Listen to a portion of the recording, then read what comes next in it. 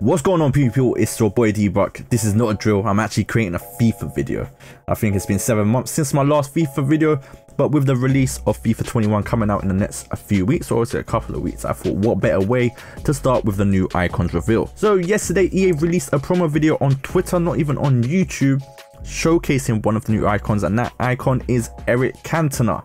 Now when I first saw these cards initially, I thought half of them would be unusable, but haven't seen all the full roster now, it's, you know, I've been relatively surprised. So first up, let's start with Xavi. Now, Xavi was one of the players that I imagine was unusable, similar to Scholes, similar to Pirlo, but that base and prime card both has 80 plus pace. That mid is not too bad if you slap a shot on it.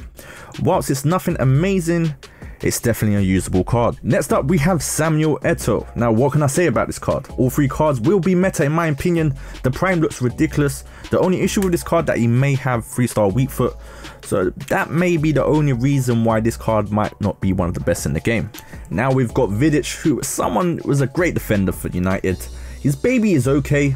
His mid is awful with that 70 pace, but his prime may be possibly the new Blanc. I don't know, we're going to have to see how he plays in game. Schweinsteiger, another player who I thought wasn't going to be usable, his base card is left midfield, which can easily be moved into CM. But his mid card is horrible and his prime whilst maybe decent with a shadow, I don't see it being too desirable. So I think Schweinsteiger is not going to be a very expensive card in my opinion. Now for the best card out of all the icons, out of all the new icons, and that's Puskas. Now I'll be lying if I've ever seen this guy play. In fact, Many of you guys would be lying if you've seen this guy play. However, looking at this card, it's just ridiculous. Even his mid has over 90 dribbling and 95 shooting. All three cards is going to be a lot of money. And this is probably going to be the most you know, sought after card out of all the new icons. In my opinion, I think there's only one other card that can match it, and we'll see him in a bit. Next up, we got Sukur. Now, technically, he is not new because I think he was on FIFA 17, if I'm not mistaken. This card may be decent in the early FIFA cycle, but after a while, there'll be so many better options. This guy is reminding me of the new Inzaghi. Now, on to Fernando Torres, Atletico legend, great striker at Liverpool. His base card is not too great, but the pace of his middle and prime will make a lot of people go for him. His dribbling is a bit low, but I'm sure the pace will make up for it. Depending how this meta is on this game, I haven't seen it, I haven't played it yet. So if it's about pace, Torres is going to be a good card. Cech.